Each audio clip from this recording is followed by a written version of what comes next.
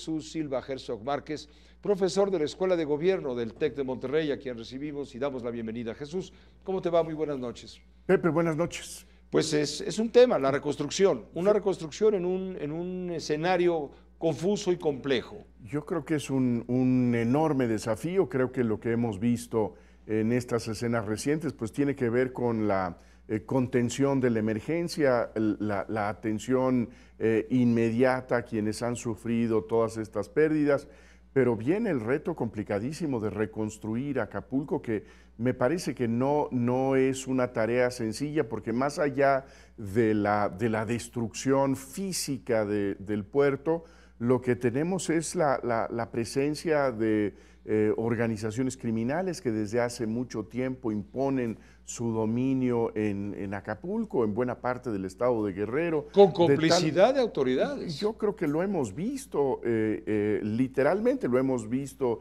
en videos, estas reuniones de autoridades con capos eh, del crimen organizado, que prácticamente son aquellos que, determinan quiénes pueden hacer eh, carrera política, quienes pueden presentarse para ser candidatos, qué obras públicas pueden tener el beneplácito de estos eh, grandes eh, señores del crimen en, en, el estado de Guerrero, de tal manera que sí es indispensable tener pues eh, muy claro que el principal reto para la reconstrucción es un reto de reconstrucción del Estado en, en Guerrero porque de lo contrario lo que tendremos es que los grandes beneficiarios, las aduanas de esta reconstrucción serán estos eh, eh, elementos del crimen organizado. Hay expresiones que no pueden ocultarse a partir de los hechos no recientes, sino los hechos anteriores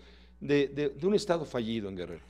Yo creo que tenemos muchas evidencias de esto. Eh, a nivel municipal. Que, eh, me parece que lo vemos a nivel municipal de estatal. manera muy clara, a nivel del Estado, eh, en donde pues efectivamente hay estas eh, entidades criminales que son las que en, realidad imponen su dominio, que cobran impuestos a través de esta brutalidad del derecho de piso, en donde si no se eh, da una cantidad a estos grupos criminales, bueno, pues los comercios, los locatarios, eh, eh, quienes venden incluso tortillas, los transportistas sufren daños brutales en sus comercios, en sus pequeñas empresas, de tal manera que por una parte está el Estado, pero quien verdaderamente interviene cobrando un impuesto muy oneroso a, toda, toda la vida económica son los criminales.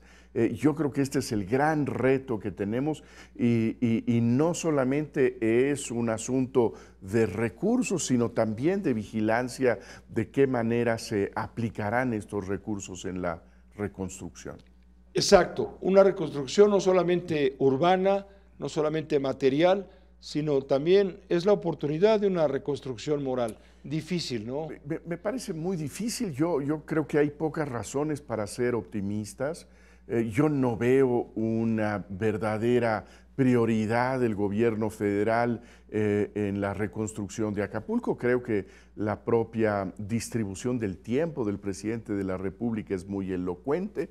Eh, no lo hemos visto en, en el puerto eh, recibiendo directamente informes de lo que está pasando.